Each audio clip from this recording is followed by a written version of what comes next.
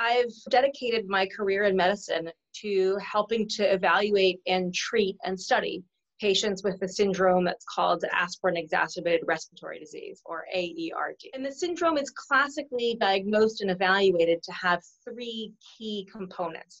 The first of those is asthma, and that asthma is almost always adult in onset. So most of our patients develop asthma as an adult, although some of our patients actually had developed asthma as a child as well. And the second component of that triad are nasal polyps, and those are growths within the, the nose and the sinuses, and those are almost universally severe in these patients. The third component of the triad, which is in some ways the hardest to diagnose and can be the most mysterious, is relatively stereotyped respiratory reactions to medications like aspirin or in the class of NSAIDs, of nonsteroidal anti-inflammatory drugs. Within about an hour or so of taking them, the patients will develop respiratory reactions that almost always include some kind of nasal or sinus symptom, increased congestion, runny nose. And then in about half of the patients, they also develop an actual asthma attack, coughing, wheezing, and a drop in lung function as well. We had known since maybe the mid 1980s patients with AERD overproduce this chemical called leukotriene or leukotrienes. And those are chemicals that are sort of similar to things like histamine that we've heard of before. They can make you itch and flush and wheeze, maybe cause rash.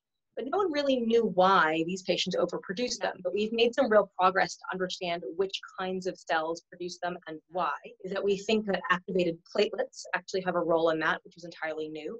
And we think that this immune cell called the mast cell probably has a very large role in the disease. Is we've also learned a fair amount about the clinical disease. So for example, we did not know as a field that between 70 and 80% of all patients with AERD develop respiratory reactions when they drink alcohol. We didn't know that because we never asked. And as soon as three patients in a row sort of curiously asked me if there was anything strange going on with alcohol, and I had never heard of it, we started asking more and more patients and really have found worldwide that this is in fact a problem. The disease kind of is what it is. It doesn't turn into something else more frightening later on. So for example, the nasal polyps in the nose don't become cancerous polyps the way other kinds of polyps elsewhere in the body can. But most of our patients actually come to us for aspirin desensitization in order that they can then start what we call high dose aspirin therapy. And the reason we do that is because although we haven't figured out the complexities of why, it turns out that four aspirin a day has about a 70% chance of preventing their nasal polyps from growing. So back. there are two trials I'm aware of in the United States right now that are specific to only patients who have AERD. The main trial that we have ongoing right now that doesn't involve a new medication is one where we're trying to understand more about the process of aspirin desensitization and help to figure out why high dose aspirin therapy works for some patients but not for all patients. Another um, ongoing trial is actually a trial of a new medication that's called ifetroban, and that's a medication that helps to block the activation of platelets to see if that's a medication that can be used either to treat uh, AERD on its own or perhaps to decrease the severity of the reactions to aspirin to make the aspirin desensitizations safer and a little bit easier for patients. But there are other ongoing trials for which patients with AERD would be welcome to participate. For the first time in about 10 years, we finally have on the horizon medications that are being newly developed for severe asthma and for severe nasal polyps.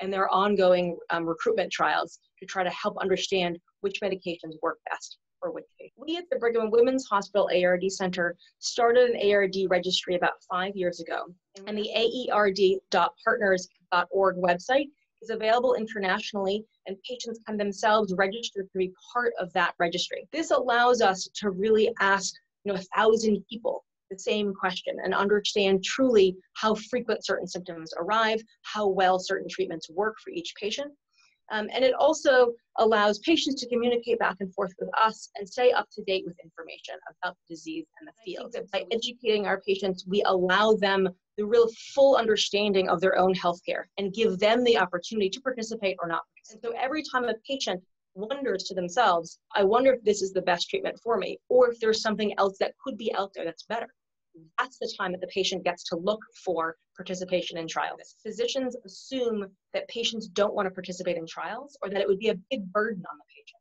In fact, large groups of data show that patient participation in trials is overwhelmingly a positive experience for them. And they very, very sincerely understand that they are participating in a larger way on bettering this disease process and treatments for everyone else with the disease, perhaps themselves eventually as well. But really, it is an altruistic gift that they're giving back.